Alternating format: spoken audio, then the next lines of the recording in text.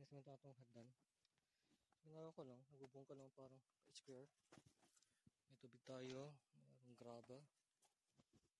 May cement mixer. Ito yung halo. Kaswaluin. Ito yung ginawa ko.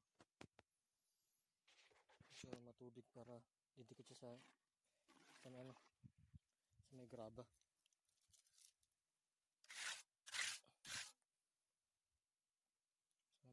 So, may, paano ko ginagawa.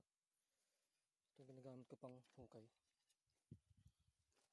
Gagawin natin. Nagawa tayong parang pa-triangle. So, para may mabuo, mabuo siya. Bubuo tayo ng triangle. Ay, ng rectangle pala. Rectangle. Kung nakabuo ng rectangle, yun. Ay, kita nyo. Nakabuo na tayo ng rectangle. So, natin isasemento kamaya.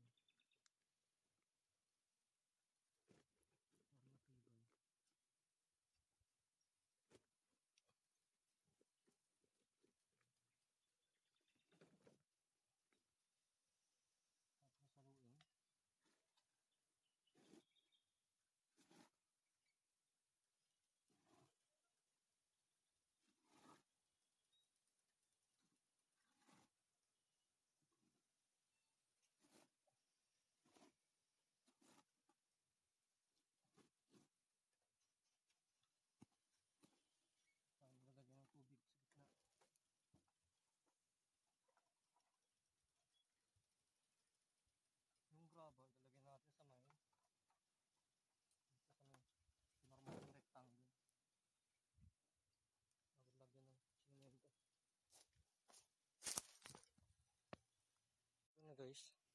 Lalagyan na tayo ng buhang ng simento. Yung graba. Papatungan natin yan. para maging formahan din. Ngayon, ganyan din siya.